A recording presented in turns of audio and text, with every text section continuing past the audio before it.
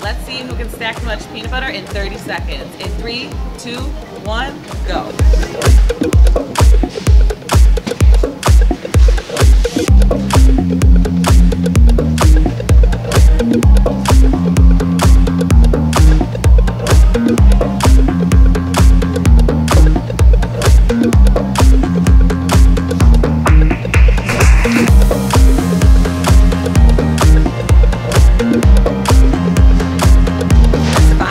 Left. Four, three, two, one.